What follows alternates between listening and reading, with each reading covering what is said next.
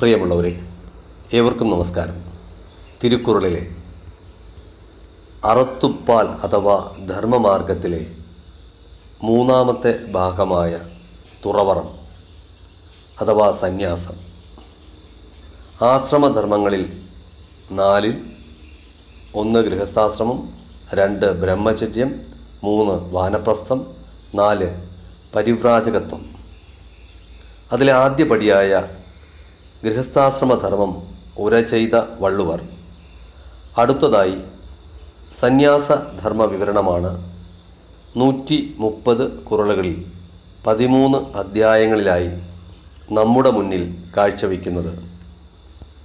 ഇതിൽ ബ്രഹ്മചാരി വാനപ്രസ്ഥൻ പരിവ്രാജകൻ ആയ മൂന്ന് ആശ്രമികളും അനുഷ്ഠിക്കേണ്ട യോഗാനുഷ്ഠാനങ്ങളും അതുവഴി സിദ്ധിക്കുന്ന ജ്ഞാനം അഥവാ ബോധമഹത്വ വിവരങ്ങളും അടക്കിയിരിക്കുകയാണ് ഈ മൂന്നാമത്തെ ഭാഗമായ തുറവറത്തിൽ അഥവാ സന്യാസ ഭാഗം. അധ്യായം ഇരുപത്തഞ്ചോടുകൂടി മൂന്നാമത്തെ അധ്യായം ആരംഭിക്കുകയാണ്. അരുളുടമൈ അഥവാ ജീവകാരുണ്യം. ഗൃഹസ്ഥാശ്രമത്തിൽ സ്നേഹം എത്ര പ്രാധാന്യമർഹിക്കുന്നുവോ അതുപോലെയാണ് യോഗകർമ്മത്തിൽ അരുൾ അഥവാ കരുണ എന്ന ധർമ്മം. യോഗാനുഷ്ഠാനത്തിലെ ആദ്യ പടിയാണ് ജീവകാരുണ്യം. അത് ജീവജാലങ്ങളോടുള്ള സ്നേഹവാത്സല്യമാണ്. ആ ധർമ്മത്തിന്റെ സവിശേഷതകളാണ് ഈ അധ്യായത്തിൽ പ്രതിപാദിക്കുന്നത്. കുറൾ ഇരുന്നൂറ്റി നാൽപ്പത്തി ഒന്ന് അരുൾ സെൽവം സെൽവത്തുൾ സെൽവം പൊരുട് സെൽവം പുറിയാർ കണ്ണും ഉള പൊരുട് സെൽവം ഭൗതികമായ സമ്പത്ത്. പുരിയാർ കണ്ണും ഉള ദുർജനങ്ങൾക്കിടയിലും കാണുവാനാകും. അരുട്സെൽവം എന്നാൽ സജ്ജനങ്ങളിൽ മാത്രമുള്ള കരുണ എന്ന സമ്പത്ത്. സെൽവത്തുൾ സെൽവം സമ്പത്തുകളിൽ സമ്പത്തായതാണ്. മേന്മേറിയ ധനമാണ്. സാരാംശം. ഭൗതികമായ സമ്പത്ത് ദുർജനങ്ങൾക്കിടയിലും കാണുവാനാവും. എന്നാൽ സജ്ജനങ്ങളിൽ മാത്രമുള്ള അരുൾ അഥവാ കരുണ എന്ന സമ്പത്താണ് സമ്പത്തുകളിൽ സമ്പത്തായത്. പദ്യപരിഭാഷ ശ്രീ പി എൻ വിജയൻ.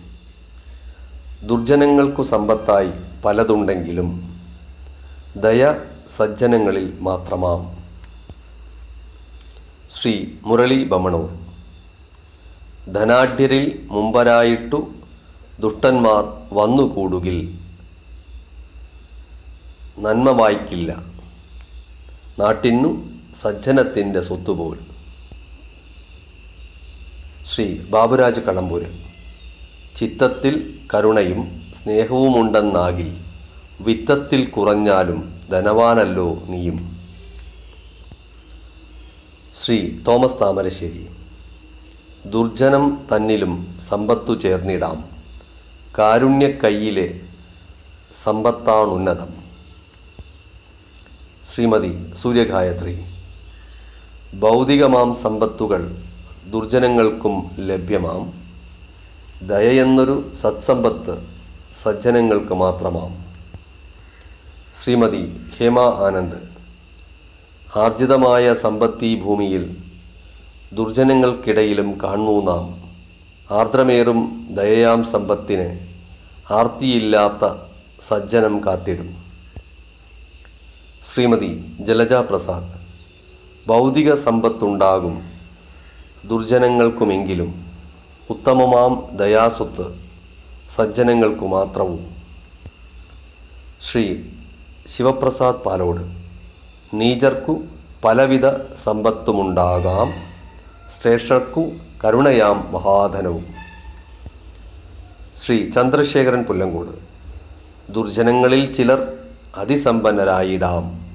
സമ്പത്തിൽ ശ്രേഷ്ഠമായതോ കാരുണ്യം മാത്രമല്ലയോ. അടുത്തത് എന്റെ വരികളാണ്.